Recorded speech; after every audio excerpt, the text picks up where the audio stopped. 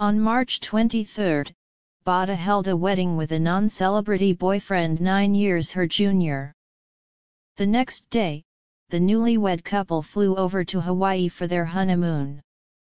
The star shared several photos from their special time together and they're absolutely beautiful. Bada is captured having much fun in the sun, going on drives, swimming, and more.